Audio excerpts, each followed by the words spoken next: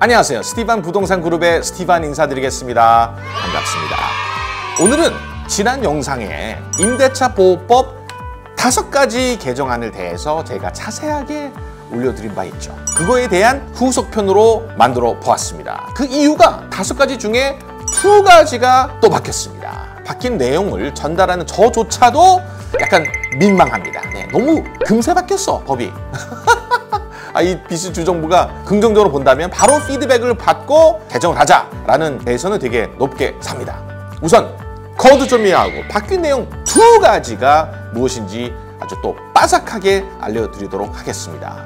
첫 번째는 제 영상을 보신 분들 구독자분들은 다 아시겠지만 세입자분들에게 퇴거 notice가 기존 2개월에서 4개월로 바뀌었잖아요. 근데 그게 8월 21일부터 3개월로 바뀌는데요. 어떤 경우에만 이게 바뀌느냐? 이거는 정말 전문 realtor 분들도 헷갈리고 있는데 제가 이렇게 정리를 하면서 고객분들 뿐만 아니라 realtor 분들도 헷갈리지 않으시길 바라는 마음에서 또 이렇게 영상을 찍고 있습니다. 자, 기존에 집주인 또는 집주인 직계가족, 엄마, 아빠, 아들, 딸이 들어간다고 할 때 세입자에게 4개월 full months notice를 줬어야 되잖아요. 그죠? 여기서 집이 팔렸을 경우에는 달라졌어요. 이게 무슨 말이냐면 집을 내놓는 거는 아시다시피 세입자와 상의하실 필요 없고 집을 내놓기로 해서 나가달라는 거는 여전히 되지 않습니다. 아시죠?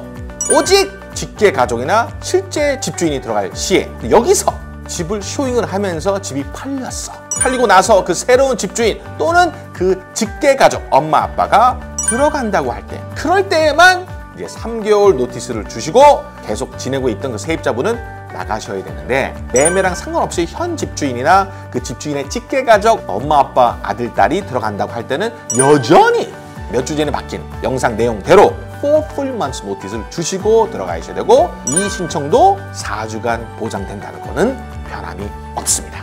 여기서 잠깐 3 full months 제가 full months라는 notice란 거를 늘 강조드리잖아요. 8월 31일 날 notice를 주시건 8월 1일 날 notice를 주셨건 8월 한 달은 지나가고 9월 한 달, 10월 한 달, 11월 한 달, 11월 30일까지 그 세입자가 지낼 수 있고 새 집주인은 또는 새 집주인 직계 가족은 12월 1일 날 빈집으로 키를 받을 수 있다는 거죠. 이렇게 바뀐 내용, 계기가 BC 주정부가 4개월로 바뀝니다 했더니 순수한 이 바이어들은 피해를 볼 수 있는 거를 파악을 한 겁니다. 왜냐면 보통 분들은 이제 대출이 필요하잖아요. 재벌이지 않는 이상 누가 현금으로 이렇게 다 집을 삽니다. 그죠? 보통 대출을 받는데 4개월 notice 주고 키를 받으면 아까 말씀대로 뭐 8월 1일 날 계약을 하고 8월 8일 날 notice 줘요. 새로운 집주인이 들어갈 거다. 그러면 9월 10월, 11월, 12월, 1월 달에 키를 받을 수 있었는데 그때 잔금을 치러지면 4개월이 넘잖아요, 실제로. 그죠? 1월이니까. 그러니까 대출 기관에서는 안 된다는 거죠. 다시 뭐 증빙한 서류라든가 대출 기관에서 인정을 안 할 수 있는 부분을 BC 주정부가 파악을 했습니다. 네, 저희 전문가들, 또 리얼터들과 모계지 하시는 분들이 그거를 피드백을 드렸거든요. 그래서 어 그러면 안 되겠다. 우리 순수한 바이어들이 여기서 피해를 또 보면 안 돼서 절충한 안이 3개월이라는 거죠. 이 사고 팔았을 때 노티스는 3개월로 주로 든다는 점 잊지 마시고요. 여기서 잠깐 많은 분들이 어, 우리 세입자는 또는 세입자 분들도 보고 계시면 내년도 3월 30일까지 fixed term으로 내가 tenancy agreement 썼는데 그래도 이렇게 집이 팔리면 3개월 notice 받고 나가야 되나요? 에 그렇지 않습니다. fixed term은 보장돼 있습니다. 상호 간의 협상을 통해 계약이 바뀌는 거는 또 있을 수 있지만 법으로는 fixed term까지는 보호를 받는다는 거. 그래서 오직 이런 모든 내용은 month to month 세입자 분들과의 내용입니다. 그러니까 일반적으로 fixed term에 있다가 자동으로 보통 month로 가잖아요. 그래서 1년 이상 거주하신 분들에게는 notice를 땐 3개월 풀 month notice를 주실 수 있고요. 그리고 또 한 가지 보상도 잊지 마셔야 된다는 거. 그래서 어떤 분들 또 아니 month인데 보상을 해드려야 되나요? 라고 하시는 분도 계신데 당연하죠. 오직 month만 이렇게 노티스를 주실 수 있기 때문에 보상은 당연 해당됩니다. 그래서 보상이 뭐냐? 한 달치 렌트비를 보상을 해주셔야죠. 자, 그래서 여기서 또 디테일하게 말씀드립니다. 누가 보상을 해주느냐? 새 집주인이 보상을 해주느냐? 아니면 현 주인이 보상을 해주느냐?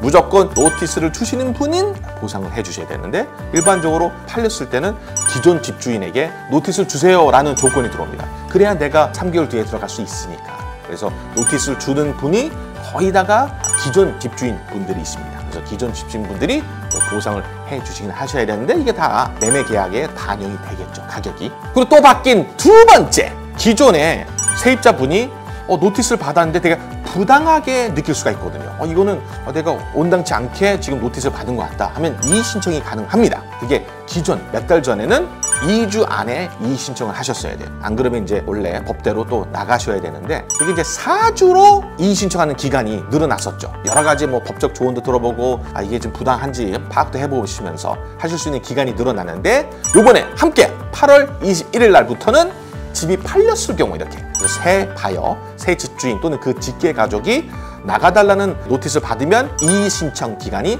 3주로 줄어들긴 했습니다. 정리를 하자면 이런 집이 팔렸을 경우하면 이제 8월 21일부터 바뀌는 내용들이 다 3개월 full month notice 그다음에 3주간 이의 신청할 수 있는 기간 아주 간단하죠.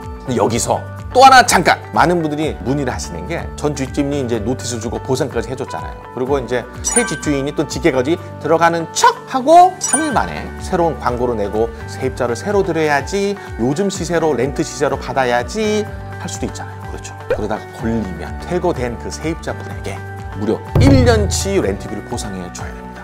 여기서 의문점이 들 수 있는 부분이 아니 어떻게 그 퇴거된 세입자가 알 수 있을까요? 네, 이건 기본 상식일 수도 있죠. 렌트를 내려면 광고를 내셔야 되잖아요. 그렇죠? 그 광고를 올리시거나 또는 그 집 이웃이 알 수도 있잖아요. 그렇죠? 세입자 나간 분하고 관계가 좋아서 Hey John 뭐 이러고 그죠? There's a new tenant living in your uh, old place 이렇게 얘기를 할 수도 있잖아요. 그래서 이렇게 법을 어기다가 걸리면 어, 1년치 렌트비 보상 엄청나죠, 그죠? 뭐 3천 불이었다면 3만 6천 불을 보상해 줄 수도 있으니까 네, 법을 준수하는 것을 늘 권장해 드리고 그래야 마음이 평안하지 않으십니까? 그래서 지난 영상에도 말씀드렸지만 다섯 가지 바뀐 사항 중에 하나가 이 퇴거 notice가 이메일이건 직접 전달이건이 아니고 주정부가 개설한 포털 사이트가 있죠. 새로운 포털 사이트. 그 사이트를 통해서만 합법적인 notice가 전달되는 시스템입니다. 그 이유가 이제 주정부가 나서서 악의적으로 퇴거를 시키고 새로운 세입자를 받으려는 시도를 아예 처음부터 막겠다는 취지 같아요. 그래서 그 사이트에서 왜 퇴거 notice를 주시는 이유와 또 누가 들어가는지 이런 신상 정보까지 자세히 기재를 하셔야 되기 때문에 우선 내보냈다가 또 새롭게 세입자 받아야지 하는 그런 케이스는 많이 줄어들 것으로 봅니다. 자 이렇게 해서 또 한 번 바뀐 두 가지 내용 정리해 보았습니다. 오늘 영상도 유익하셨다면 구독, 좋아요, 알림 설정까지 부탁드리겠습니다. 바이바이